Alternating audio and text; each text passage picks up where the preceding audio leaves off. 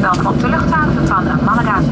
Ik verzoek u te blijven zitten met de stoelriemen vast, totdat de verlichting van het teken riemen vast uit is en het vliegtuig volledig tot stilstand is gekomen. Als wij rekening mee dat bij het openen van de bagagevakken en handbagage kan zijn verschoven en eruit kan vallen.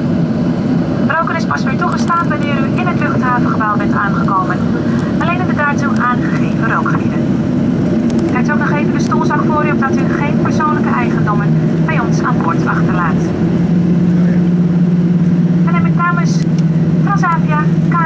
Partners en gezagvoerder van Door een afscheid van u. Wij hopen dat u een plezierige vlucht met ons heeft gehad. En wensen u nog een hele fijne zaterdagmiddag toe. Dank u wel voor het vliegen met Transavia. En tot ziens.